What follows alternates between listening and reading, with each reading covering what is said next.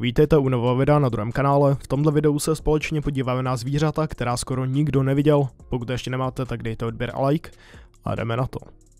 Některá zvířata jsou tak vzácná, že si lidé nejsou jisti, zda vůbec existují. Ale já jsem našel ta nejzáhadnější a nejvzácnější zvířata, která téměř nikdo nikdy neviděl. Zůstaňte s námi, abyste viděli nejvzácnější zvíře na světě. Duch žralok. Duch žralok je jedním z nejvzácnějších zvířat na planetě. Sasou a tango salsneče, že jsme ani nevěděli, že existují až do roku 2002. I přesto se odhaduje, že jsou na světě již 360 milionů let. Když jsou spatřeny, nacházejí se ve vodách Austrálie a Nového Zélandu, ale byly také nalezeny u pobřeží Havaje a Kalifornie. Místo toho, aby svou kořist trhali zuby, drtí je svými silnými čelistmi. Stupeň vzácnosti 100. Seneca bílý jelen. Toto je jeden z nejvzácnějších savců na světě. Existuje tolik teorií o seneckých jelenech, že by mohli mít vlastní konspirační ledovec. Nikdo se nemůže shodnout na tom, odkud vlastně senečtí jeleni jsou. Někteří věří, že jsou výsledkem genetické modifikace, jiní věří, že pocházejí z radioaktivní genetické mutace, a někteří dokonce ani nevěří, že existují. Z hlediska vědy určitě existují, ale pravděpodobně je nikdy v životě neuvidíte. O jejich existenci jsme se dozvěděli až v roce 1941, kdy byli poprvé nalezeni na oploceném území patřícím armádě Spojených států, což vedlo k mnoha teoriím o genetické modifikaci. Dnes je lze najít ve volné přírodě v okrese Seneca, stát New York. Věří se, že těchto žije na světě pouze 200 a někteří věří, že by tito tajemní jeleni mohli brzy vyhynout. Úroveň vzácnosti 150. španělská tanečnice. Tohle je jeden zvíře neobvyklého vzhledu, které nejspíš nikdy neuvidíte. Má divné jméno, je? ale vypadá ještě divněji. Někteří říkají, že vypadají jako znetvořené plovoucí jazyky. Je to docela drsné, ale přesné. Španělští tanečníci dostávají své jméno, protože se kroutí nebo tančí a mohou vyrůst do větších rozměrů než člověk. Vypadá to, že tohle zvíře předvádí Worm nonstop, ale nesnažte se tančit se španělským tanečníkem. Jsou neuvěřitelně jedovatí. Španělští tanečníci jedí jedovaté medúzy a poté používají jejich jed na svou vlastní obranu. Ti borci si opravdu berou sílu od jiných zvířat. Úroveň vzácnosti 200 Shu Bills Koukněte, jak je to obrovské, to je větší jak ten člověk. Tohle kdybych potkal v moři, tak bych už nikdy do moře nevlezl. The Spice Girls. Sus. Ten T-94 Forest velmi vlastní. Ti jsou známi svými obrovskými zobáky a zvláštním zvukem.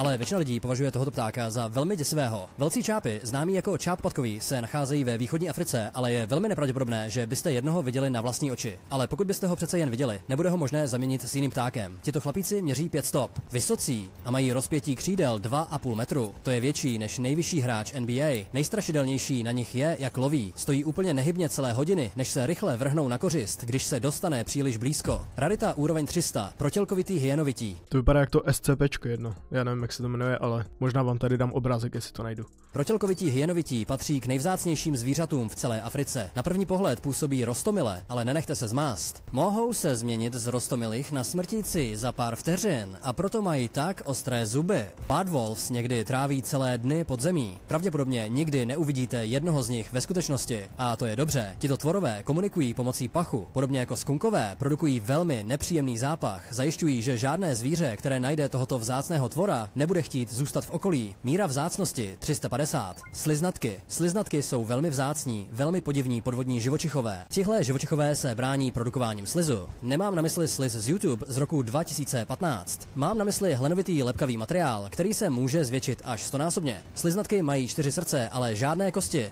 Jsou jedním z nejstarších zvířat na světě, odhadovaných na přibližně 330 milionů let. Ale je nepravděpodobné, že byste nějakého viděli. Moc jich není a ti, co existují, Na co potřebuje v hlubokém oceánu, tohleto mnohem hlouběji, než kam je bezpečné pro člověka se vydat. Úroveň vzácnosti 400.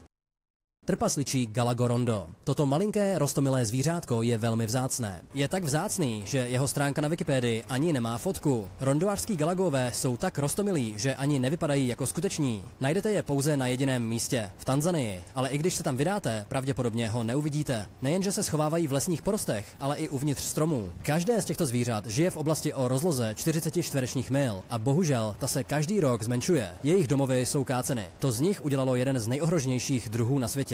Je těžké tato zvířata chránit, protože jsou tak malá a těžko k nalezení. Je opravdu smutné, že je pravděpodobně nikdy neuvidíte a až se narodí vaše děti, pravděpodobně už nebudou existovat. Úroveň vzácnosti 450. Albínští tůleni.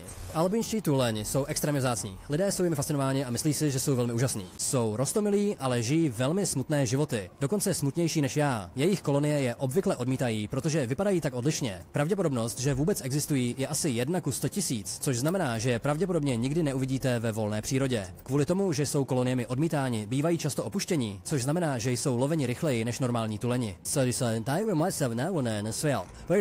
že se. Rovněž jsou více loveni lidmi. Pod vodou jsou snáze viditelní a také se odlišují. Zdá se, že všechno je proti těmhle chudákům. Úroveň vzácnosti 500. Tato zvířata jsou tak vzácná, že někteří lidé by byli překvapeni, kdyby se dozvěděli, že vůbec existují. Zorce jsou výsledkem křížení zebry a koně. Nějak se to stalo několikrát, což vytvořilo tyto úžasně vypadající hybridní zvířata. Zorkézy mají to Photoshop. Růstu, což znamená, že se narodí malé. Také jsou obvykle neplodní, což znamená, že se nemohou množit, což je částečně důvod, proč jsou tato zvířata tak vzácná. První zorce byl nalezen v roce 1899. Existuje pouze jeden druh zorce a není jich mnoho. Odhaduje se, že na celém světě jich je asi 100, ale pokud nějakého najdete a ochočíte, je to jako byste vyhráli v loterii. Zorce se může prodat za 30 tisíc dolarů, úroveň vzácnosti 550. Sloničko, to je, tohle je malinké, velmi vzácné zvíře, ale nenechte se zmást jeho názvem. Není to slon ani rejsek, což vysvětluje jejich velké uši a dlouhý chobot. Žijí na různých místech, v lesích, džunglích, horách a pláních, ale není jich mnoho a jsou velmi malí a stydliví, což je důvod, proč jsou jejich setkání tak vzácná. Jsou také jedním z nejrychlejších malých savců na planetě. Dokážou běžet rychlostí až 29 km za hodinu. Najdete je po celé Africe, s výjimkou západní Afriky. Osobně si myslím, že tito minisloni jsou velmi rostomilí, ale bohužel ani já, ani vy je pravděpodobně nikdy v životě neuvidíme. Úroveň vzácnosti 60. 650 černě skvrnitý kuskus. Navzdory názvu to není jídlo, ale extrémně, extrémně vzácné zvíře. Tito velmi rostomilí savci jsou známí tím, že často mají červené oči, ale téměř nikdo je nikdy neviděl. Nacházejí se pouze na ostrově Nová Guinea. Černě skvrnití kuskusové nemají žádné predátory, kromě slona a pro lidi. Bohužel kvůli pytláctví jejich populace každým rokem klesá. Je smutné, že tato úžasná zvířata mohou brzy vyhynout. Díky moc, lidé. Úroveň vzácnosti 0. 650. Úhoř stužkový. Tento extrémně vzácný tvor. Trošku o tématu, ale já jsem si všiml, že pár z vás si stěžuje na ten AI překlad. Já vím, že to není perfektní, občas to tam říká fakt blbosti, ale podle mě jako si vždycky můžete odvodit, co jako chtěl říct. 99% času to jako překládá dobře, takže podle mě to není tak strašné. Jako.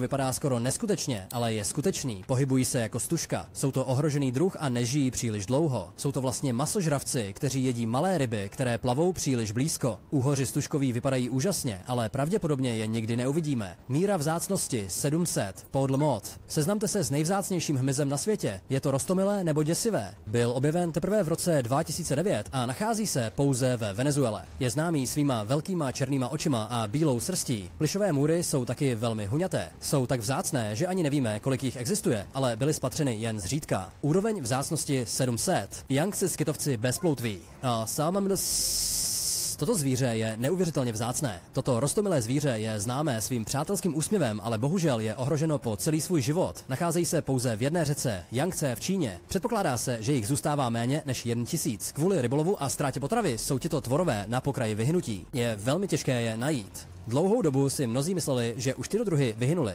To bylo až do okamžiku, kdy byly potvrzeny další pozorování, ale stále je téměř nemožné je nalézt ve volné přírodě. Úroveň vzácnosti 800. Na pokraji vyhnutí a pořád se směje.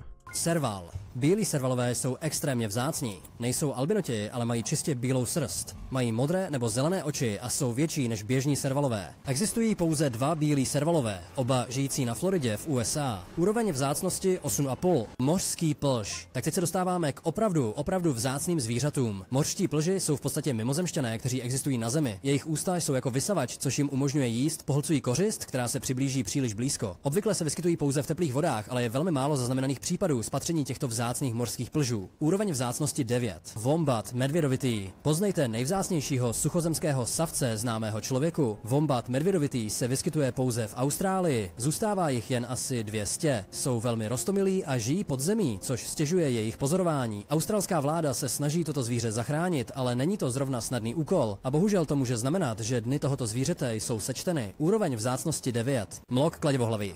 Tolster, uh, tento obojživelník je neuvěřitelně vzácný. Nachází se v Severní Americe a Africe a je známý svou bumerangovou lepkou. Vypadá trochu jako Pokémon ve skutečném životě. Jeho bumerangová hlava je vlastně kost, ale je velká šance, že ho ve svém životě nikdy neuvidíte. Úroveň vzácnosti 975. Vakita. Toto je nejvzácnější zvíře na celém světě. Tento vodní tvor se nachází pouze v kalifornském zálivu. Na světě zbývá pouze 10 až 2 vakity. Crystal Quaistom jsou zároveň extrémně vzácné. Jsem že by mohli vyhnout do roku 2025, což je smutné, protože tihle tvorčkové vypadají naprosto jedinečně. Super rostomilé. Úroveň vzácnosti 1000. Škoda, že u toho posledního ani pořádně neukázal, jak vypadá, ale když je jich tak málo, tak asi ani nemá takové záběry. Každopádně, napište mi teda do komentářů, který z těchto zvířat vám přišel nejvíce za které z těchto zvířat vám přišlo nejvíce zajímavé. Pokud ještě nemáte, tak dejte odběr a like a vidím se u dalšího videa.